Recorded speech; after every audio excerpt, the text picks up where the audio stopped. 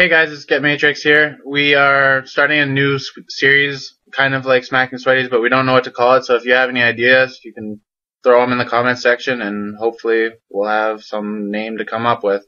Uh, this commentary is done by Jesse Oliveras. Hopefully you guys enjoy, and he does sound gay the whole time. What's up, guys? This is Jesse Oliveras here, and let's start this commentary off by saying some things off my mind. The first thing I want to talk about is why do we anti? Well, the reason is because people with good stats always stay against kids with no sums, and they will not play against kids with sums, with like it's 1 KD or higher. And the second thing is, like, when you get in a line with those kids with like good stats like 6 KD or higher and you just play like with a full party with 3 KDs, they back out against you. They just don't want to hurt their stats. Like, what's so good about your stats if you don't want to play against tryhards sometimes? Like, you're always going to f- play against a tryhard with like a 1 KD with Ghost, C4, and then a Master Prestige with a 1 KD. And the other thing is I want to talk about is like when you make a dummy account with like a .80 KD and a .40 win loss and a low SPM, but your gun KD's just garbage, and you join that person's session with like a 9 KD, like the the score's like 80 to zero, and you smack them late session, you just and when they dash, they just send you messages saying play me on your main. Like when you do get on your main, they back out. Like, are they that scared to not face tryhards at all? Like, not even one match? Like, uh, like play some variety. Like, you're not gonna play against kids with no sums like every day with your freaking Call of Duty career. Like, it's not gonna make you better. Like, be happy with your like four KDs and like a ten win loss, and who cares?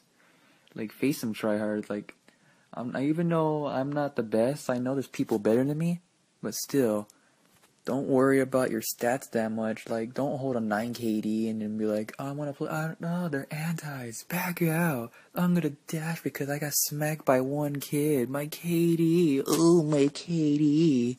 Don't be like one of those guys be, relying on your friends with VSATs, just a high back in the map like most kids do for their fake 9 KD that they obviously dash. Like, that's not fun. Like, running around is fun, but just don't worry about your KD. Be happy what it is. And last thing I want to talk about anti before we get to the next topic is there's some games that you can't come back because like 90 to like 10, like at least 50 seconds, and you they have VSATs, dogs, and swarm, and you guarantee that you could smack them, and most likely you did, because a couple of games ago, or maybe uh, later back, you already antied them, and they just talk shit to you, saying get smacked by joining late. Like, are people really that stupid? Like, you smacked them before, they just because one game you join late, like, un, you can't come back from it. They feel so powerful, like I'm better than you, ha ha ha ha. But yet they won't stay next match just to face you. They just back out. They're like, nah, my KD, my fake ass KD. Off to the next topic, let's talk about KD counts. Yes, this is a gameplay of KD counts getting smacked by me, Get Matrix, and SLT and T before we changed our antis a while back ago. But still, what I think about KD counts? Well, I think he's so ignorant that he's just trying to redeem himself even though he got smacked a hundred times by actual good kids. And like, why are you trying to be so superior and thinking you're so better than me and some other people, even though we smack you? Like, we guarantee that we could smack you, KD Counts, on this actual scrim competitive rules. Like, you're the biggest lying faggot I have ever heard of, and I don't want to know why are you just being like this? Like, how stupid can you get? Like, who cares you lose? Stop talking shit saying you're better than everyone or acting like you're better than everyone. Like, of course we lose, but still, don't act like you're better than us even though you beat us like once. Like, just because you beat us once doesn't mean you're better than us. Like, we smacked you. Like, I guarantee I know a bunch of people that smacked you like 900 times just like prospering and just still keep talking shit to them like you hate them. And I guarantee, I like for those of you who think I'm wrong, I guarantee I antied you back in the old days. Like 75% of you and multi-team with like four KDs or higher back in the old days before I even played with Matrix and TNT. But still, I guarantee I anti most of you and made you dash on Wiggy McPiggy. But still, like, even though I do lose, I do not talk shit.